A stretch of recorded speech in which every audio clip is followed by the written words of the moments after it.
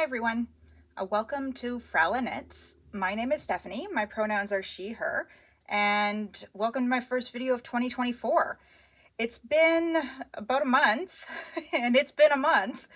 Um, the last time you saw me, I was going over my 2024 plans and my 12 days of Christmas plans, and, well, you know, what are plans if you aren't going to break them?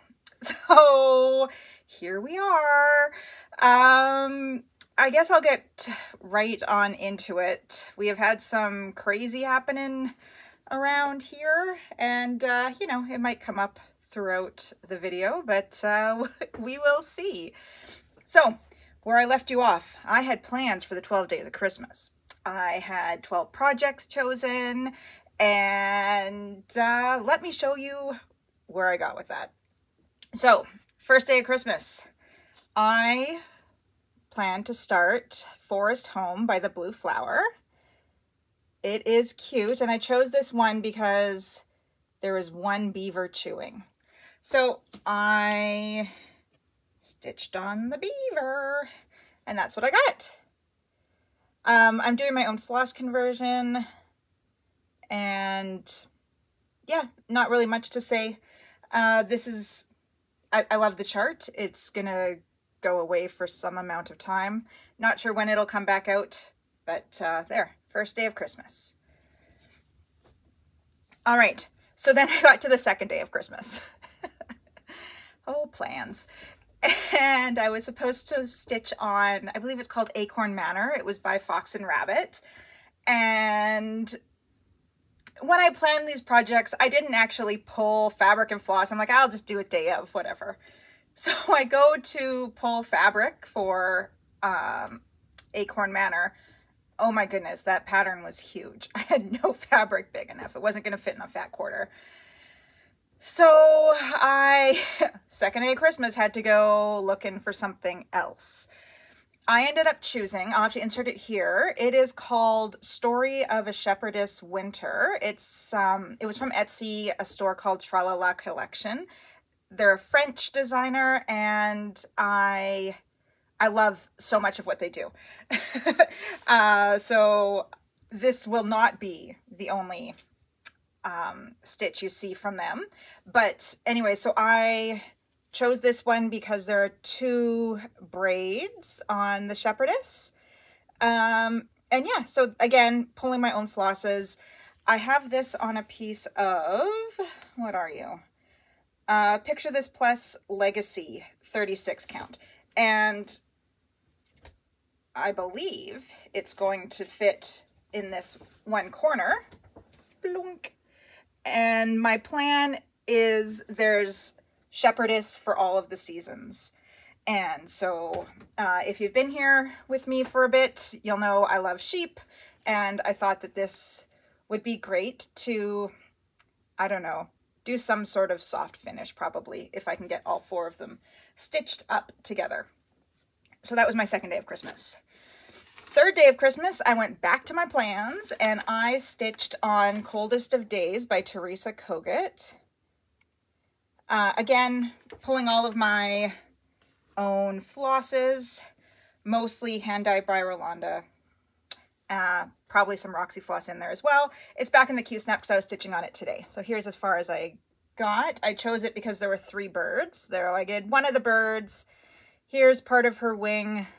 Uh, the ginormous dress. I kind of just wanted to play with all of the floss colors that I had chosen to see how they work together and work with the fabric. And so far, I am loving it.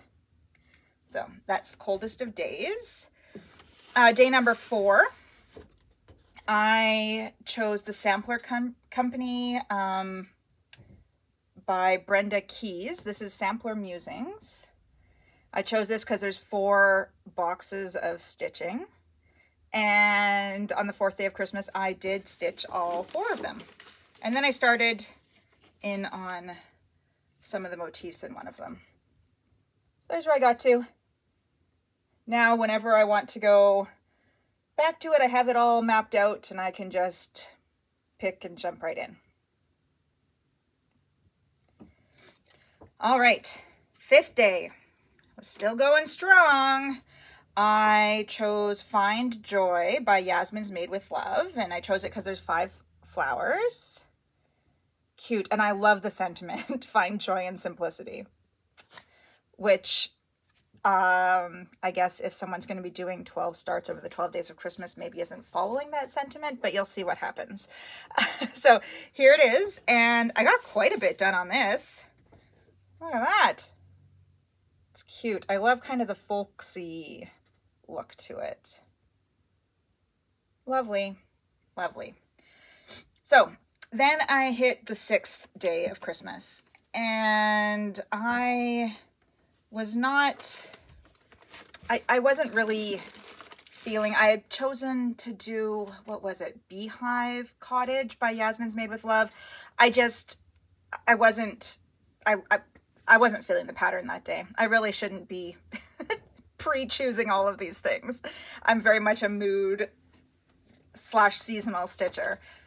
So I wasn't feeling the beehive and I spent literally two hours on Etsy and different designers websites looking for and actually I was flipping through I have um what is it called? The Gift of Stitching. They are an older magazine and they sell all of their back issues digitally. I scrolled through all of those. I went through like the magazines that I could find um, through my library digitally. I went through my Just Cross Stitch. I went through Etsy. I was looking for anything. Two hours later, hadn't found anything I actually wanted to stitch on for the sixth day. So I was like, well, plans are made to be broken. and I think I just picked up one of the ones that I'd already started and worked on that. Now, there were still a few projects that I had planned for my 12 days that I was really, really wanting to get started. One of which was, um, I think it was the 11th day, I was going to start Everflowering Garden by Owl Forest. Um, and yeah, I, ha I had that all kitted up with fabric and flosses I wanted to use. So I thought, you know what, I'll just kind of keep doing my own thing. I will start that one at some point. Well, um, on the seventh day of Christmas, I got a puppy. oh my goodness. I have been wanting a tiny dog for quite some time. Our previous tiny dog passed away um, almost 10 months, 10 and a half months ago. So I was definitely missing the yapping every time someone comes to the door, the shadow that I have. So I got a puppy, which threw all plans for any crafting or house tidying or sanity out the window. So, yes, that was on New Year's Eve, puppy. Uh, her name is Raven, and she's delightful. All right, so I do have another new start since the new year. So we got a puppy and we already have a large dog and two cats, one of which is just over a year old and still very much kitten. So um, those first few days of the new year were pretty intense with everyone kind of figuring out where they belonged in the hierarchy of pets in our household. And there was a lot of growling and barking and hissing and all of that. So it made me think of um, a long dog sampler chart called Paws and Claws. I'll put a picture of it in here. It uh, is available on their website, I believe, but I have it from that uh, The Gift of Stitching magazine. It, it first appeared in there. So I decided, uh, what does it say? anyways, you saw it in the picture, something about only cats and dogs may quarrel in my house. Live and let live. So I decided to start that up. Now, January, my theme of stitching was going to be winter. This isn't particularly wintry, but it definitely is how my January is going. So again, pulling my own flosses, loving it. This is on 28 count Lugana Days of Old. And yeah, I love the modeling, kind of the different colors in there. Um, yeah, so I've been working on this a lot January. Uh, I think I've kind of, everyone's getting along now. All the animals are getting along fairly well. So I think I'm probably going to put that away for a bit and get back to my winter stitching. Like I said, I pulled out the coldest of days and was working on that today. All right, so then on to WIPs. I, in my last video going through all of my projects, I uh, kind of said that I was going to, I would like to have 12 finishes this year at least. Um, and when I was going through all of my projects in that video, this was one of the ones that I thought might be uh, a candidate for a finish in January. Picture here, it's called Rushkin's Penguins. It's by Modern Folk Embroidery. And I worked on it for a couple of days. The uh, I think January 1st and 2nd probably until I um, until I started Paws and Claws. So here's where I've got to now. I believe all that I've done was kind of more of this uh, filling in this darker uh, kind of brownish, bluish, blackish going around. What I need to finish is another penguin and a bunch of, if you can see the snowflakes that are kind of in here. You can see them, you can see them okay in, in person. This is on some um,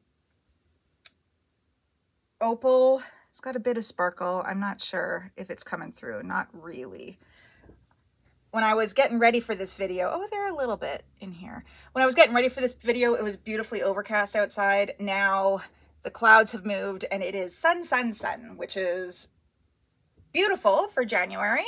Uh, not the best for filming a floss tube, but you know, you do what you can. All right, other WIP. On the 12th of every month, my intention is to work on one of my, do I have three? I have three or four 12 Days of Christmas uh, projects. So my intention is to work on one of them um, on the 12th of every month. And so I pulled out the ones from Hello from Liz Mathews, and I am working on day five. I'm stitching these all on one piece of fabric, and I am not doing the top and bottom funky borders. I'm just doing plain um, all around. So what I worked on on the 12th, I had the border and this bit done. I just started in up here. As I mentioned on my last video, I've started back to work, which has really cut into my, poor me, cut into my stitching time. so, I mean, the amount of stitches I'm getting in when I pull this out on a day is not, um, you know, terribly lots. it's not it's not really notable, but you know, it is something. So that was my stitching on the 12th. Then on the 13th, I am stitching uh, Halloween on the 13th and 31st. So I pulled out All Hallows Eve Sampler uh, by Joan Elliott, which I am stitching along with Elizabeth at Savory Sewing. Uh, we started this on Friday the 13th in October. My hope is to get this done this year, although when you see how much I got done yesterday, I should say uh, today is January 12th, and I'm representing Go Pack Go. Uh, we are we have a playoff game against the Dallas Cowboys today. Go Pack Go. so here is where I am at. And all that I got done yesterday was really like half of this tree and a little bit of uh, the cat mirror image of this. It was not all that much. I, again, had to work yesterday. And um, on top of getting a puppy, I have also acquired a teenager, an extra teenager. One of my eldest, um, my eldest kid has a friend, a 16 year old boy who needs somewhere safe and warm to live. So um, I've offered up our house. we have lots of room, we have lots of love. And uh, yeah, so we've been doing a lot of rearranging of rooms and um, we've got a bed together for him. This is the first time he's slept in a bed in months, so that's exciting. Uh, but yeah, between I mentioned to my partner after one uh, fairly tiring day last week. I'm like, are you glad I decided to bring a puppy and teenage boy into our life? This is fantastic. But we are we are surviving. We will get through this. Hopefully it will settle. Um, but yeah, stitching and uh, any sort of time for myself is kind of out the window uh, until everyone is settled. I will say I'm in my, hopefully, forever craft room. In moving New Human in, we did a shuffle of four different bedrooms. so uh, I am now, my bedroom is now my old craft room. This craft room used to be my eldest's room who moved into our bedroom so that we could make room for um, our new housemate. All right, so that is what I have worked on uh, 12 Days of Christmas and into the new year. Uh, let's see, as far as plans go, so today, like I said, is the 14th. On the 16th is Julie from uh, Julie and Stitches 16. It's her birthday. And she is running a SAL, hashtag CCC with Julie SAL. So three C's, they stand for culture, community and cause. So she would like everybody to um, grab a pattern that relates somehow to your culture, to your community, to a cause that you are passionate about. Um, find a designer from that culture, community, cause that you could support and let's stitch. So I am pulling out a WIP. Um, it is from a Ukrainian designer. Uh, I will have to put the info down below. I found this pattern on Instagram. I saw it. It is gorgeous. Let me show you. Here it is. It is gorgeous. Um, she is just powerful and wonderful and I love her. So I saw this on Instagram. I knew I needed to stitch it. My family, I am, one side of my family is from uh, Russia and Ukraine. so, uh, yeah, this is, it's called Victory. Like I said, I'll put the info down below. She, the designer, um, is Ukrainian. So it was kind of fun trying to figure out how to chat with her, how to buy it. Um, I can't remember what sort of payment transfer service we used, but it worked fine. And basically, I would message her in English. She would put it into Google Translate. She'd message, message me back in uh, her language and I would put it into Google Translate. Uh, so yeah, it was fun. Anyways, I'm going to be pulling this out uh, to work on because this is culture. This is just beautiful. So gorgeous. I have worked on basically some of the flags so far.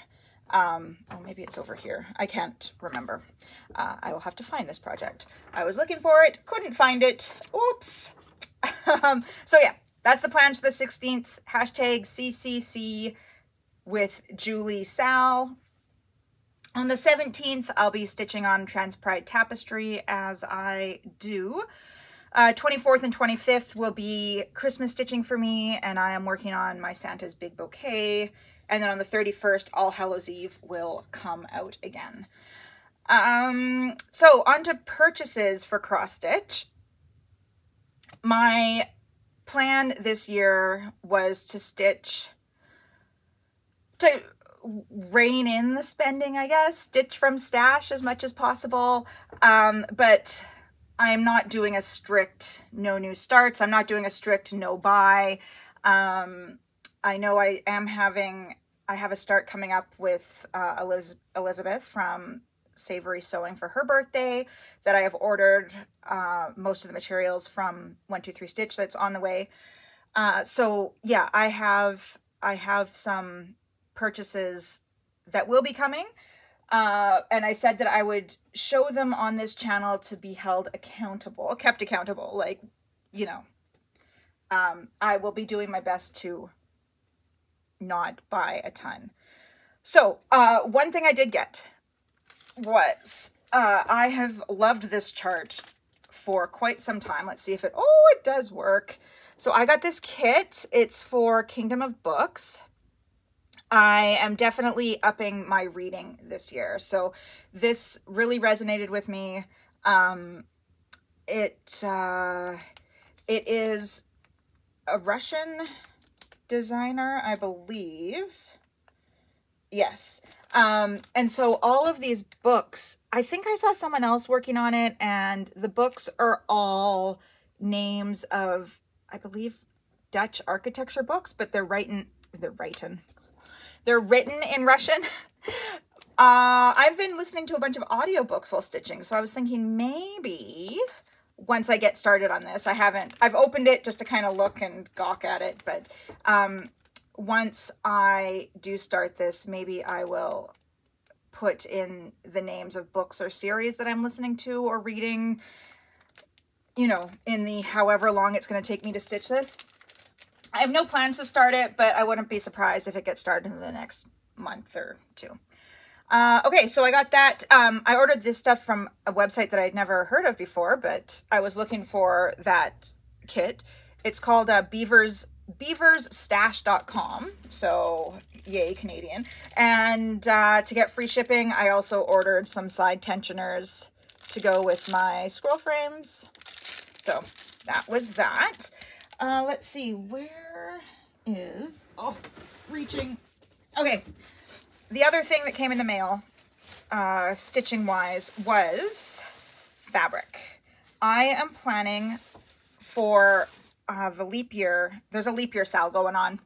Uh, um, this year is a leap year. So on February 29th, my intention is to start an epic project. I am choosing Saga by Long Dog Samplers and it's huge and I calculated I had to do something like 500 stitches a week in order to get it done by the next leap year in four years. So I ordered um, a couple of silks from Silks for You. Sorry about the, you know, you know. So I ordered previously, this is uh, PR 181 Ooh, that is pretty. Uh, it's, to me, it's like copper and gold and silver and I love it.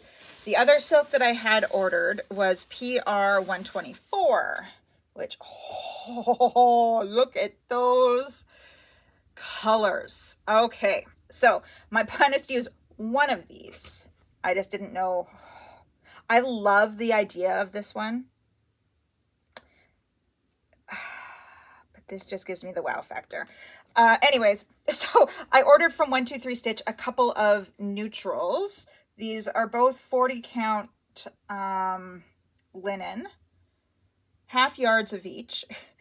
Uh, what's this one? Antique White and Silver Moon. So maybe you want to help me. Silver Moon with this guy. Nice. I will say the Silver Moon, definitely a cooler neutral. This is warmer antique white, I think. So there's Silver Moon with that guy, or this guy. Ooh. So either that, or like I said, slightly warmer. Antique white. That, oh, they're beautiful. Can't I just use them all? Yeah. So anyways, the fabric is what came. I still haven't decided what um, fabric combo I am going for. Fabric and floss. Hmm. You know what? I'm kind of leaning towards this guy with the silver moon. It's a bit, but I don't know. I don't know when it's going to be ginormous and I'm so worried about messing it up. But at the same time, I think they're going to be beautiful either way. And I cannot wait to break into these silks. Uh, I've been also kind of reading up on how to deal with these hanks of silk. So I have no problem with cutting it. I just, um, I have seen, you know, people just slicing it, uh, you know, twice like this and just stitch completely variegated. I've also seen people who uh, cut like the colors out and especially on something like a long dog you could use this color for some motifs and this one for another. Um, and then I've also read of people I could put this on my yarn swift wind it into a ball and then while I'm stitching just pull off okay I want this part to be turquoise so I pull some of this off and I stitch whatever motif and then you know maybe I want some of the blue to come out. I, anyways I have just been, you know, perusing Instagram, trying to find ideas of how to uh, manage manage that project. Ah, reaching. Uh, okay, so that's my, that's all my cross stitch. All of my new starts, WIPs, uh, plans, purchases. So on to knitting, and I realize now it's not going to be very exciting for you. I totally forgot to bring it up, but I finished two sweaters since my last video. I finished the cable one that I was gifting to my ex for Christmas, and I did that, and I'm happy to see it go, to be done with the cables. I also finished my Marius that I was knitting for myself, but I left it downstairs, nothing to show.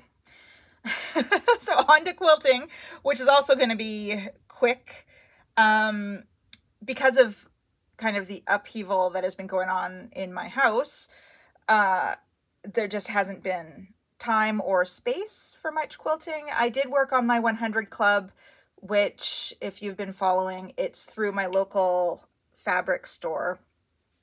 Uh, basically every month I get a chunk of fabrics um, to put into a quilt and I think it's going to take us six months. We will have a finish. So I worked on my December of that. I need to get the January done by the end of the month. I will get to it.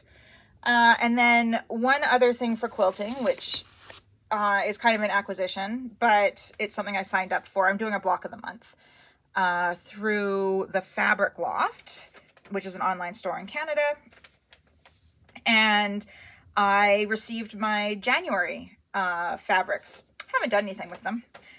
so uh, there was an option to, so here's uh, kind of the fabric palette for block number one. I have a picture that'll be easier to see. Uh, so it's 12 uh, 12 inch square blocks that we will be making throughout the year to make a quilt.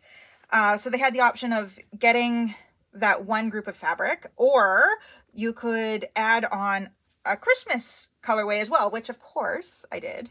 Um, and so I get every month to make the same block, just different fabrics, a Christmas one as well. So hopefully by the end of the year, I will have two uh, blocks or two quilts done. Hopefully not just two of the blocks. So there's the two colorways. So this is the regular one, and then this is the Christmas gorgeous.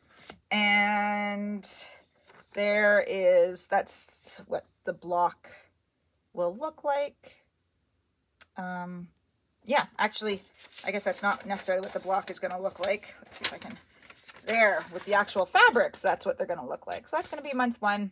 I need to get moving on that once I get my machine set up. Um, yeah. So anyways, that's it. Bit of a shorter video. Great.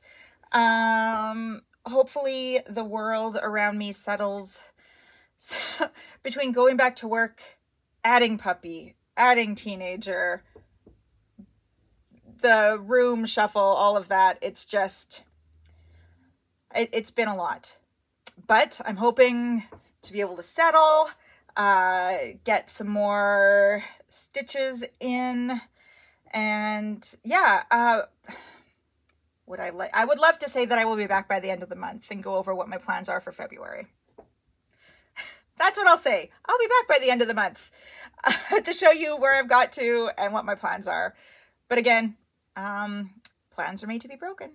So take care, everybody. I'm happy to be back and uh, we will see you soon. See ya. Bye-bye.